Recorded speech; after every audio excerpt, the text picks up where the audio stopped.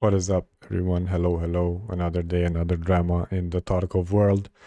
BSG just released, like, not just released, but with the latest patch, they released a new edition of Escape from Tarkov. And Tarkov Twitter went bonkers. But not only Twitter, but like Tarkov community went bonkers. So we now have uh, the Unheard edition, which is on top of the EOD, 95 euros for me, but I think it's 200 40 to 150 euros for anyone that doesn't have EOD edition. Mm. This Tarkov new edition comes with, of course, access to the game. And then you have a PvE mode. You have enhanced stash, unique in-game ID, which like now is the golden, uh, what's it called? Uh, you have it like this right now. the crown and everything but it will most likely and it's not most likely it is something else. It looks different. Uh, and then you have pmc pockets that are like a scav vest uh, you have starting fence um, karma and more slots on market and so on.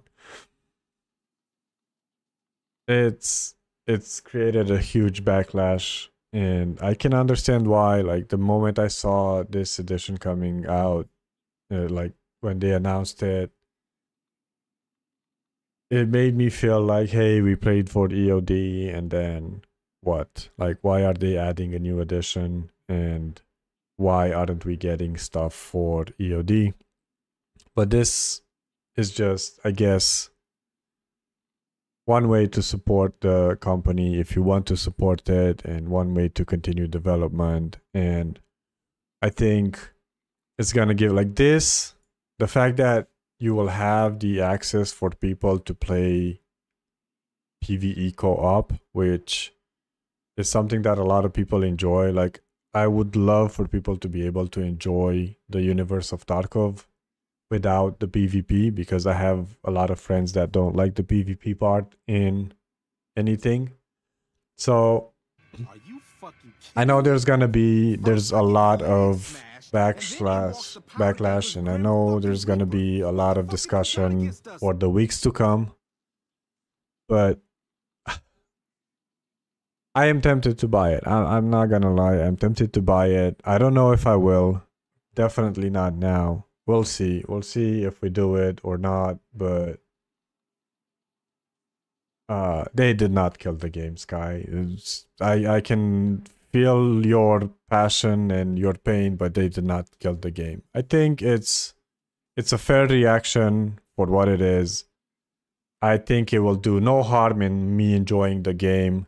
I think it's very expensive for a PvE co-op, that's for sure. Uh, but you get the rest as well on top of that, so I don't know.